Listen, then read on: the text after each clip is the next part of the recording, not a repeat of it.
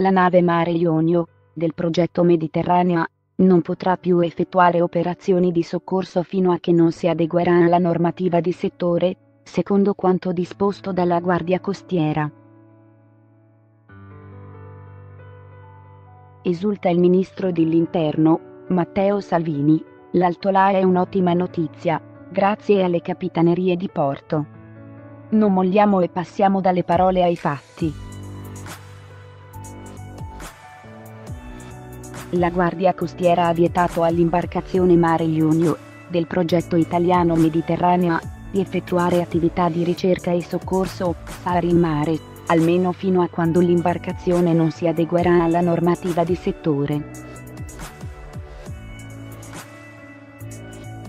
Una decisione presa al termine dell'ispezione che i militari della Guardia Costiera hanno svolto sull'imbarcazione dopo il suo rientro nel porto di Marsala la scorsa settimana.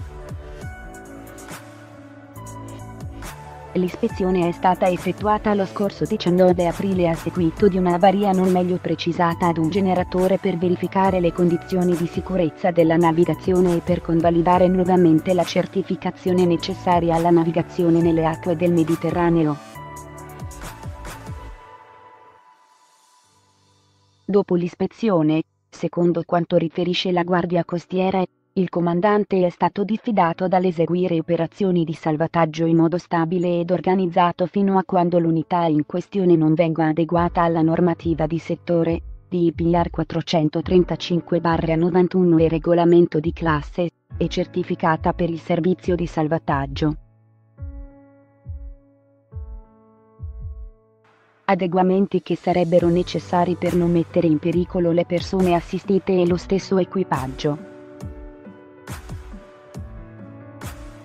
Inoltre, la Guardia Costiera ha sanzionato Mediterranea per alcune irregolarità di bordo riscontrate sulla nave.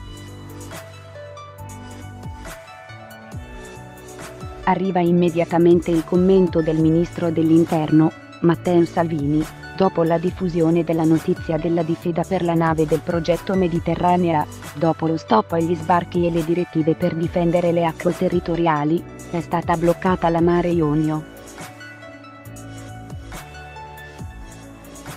Si tratta della nave dei centri sociali che pretendeva di dettare legge nel Mediterraneo anche grazie ad alcuni parlamentari eletti con i 5 Stelle come De Falco. L'altolare è un'ottima notizia, grazie alle capitanerie di porto. Non molliamo e passiamo dalle parole ai fatti. Mediterranea Saving Human dopo la notifica da parte della Guardia Costiera della Difida, parla di un atto dal solo scopo intimidatorio e irricevibile dal punto di vista legale in quanto la Mare Ionio è un rimorchiatore e nave da carico della Marina Commerciale Italiana che svolge attività di monitoraggio e denuncia delle violazioni dei diritti umani, pattugliando il Mediterraneo centrale.